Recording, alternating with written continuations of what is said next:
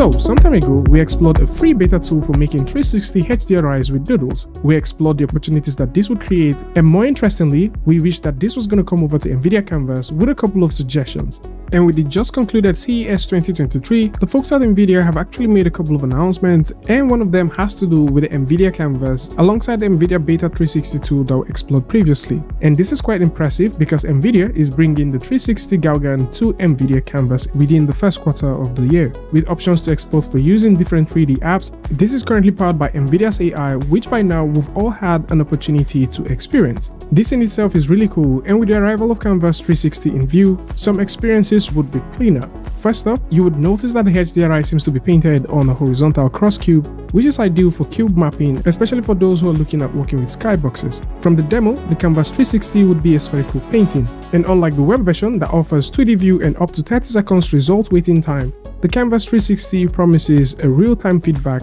and ability to move around the map. This alongside a few Omniverse related tools were announced by the folks at Nvidia at the just concluded CES 2023.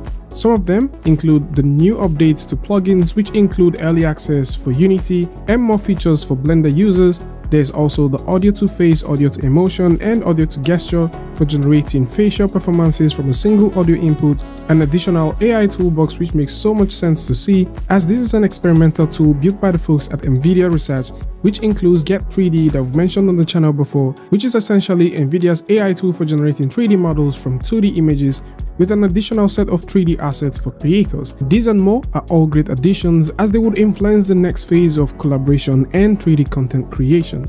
And for those who like to get premium free HDRIs, link to the folks at ProductionCrate is going to be in the description, alongside a link to where you can find other HDRIs related platforms, add-ons, and also links to NVIDIA Omniverse, Canvas, and the beta tool that we just explored. So, this is more like it. Tell me what you guys think about this one in the comment section. And of course, if you like this video or you learned something from this, you can go ahead and give a like and don't forget to share with a friend. And I'll see you guys in the next one. Peace.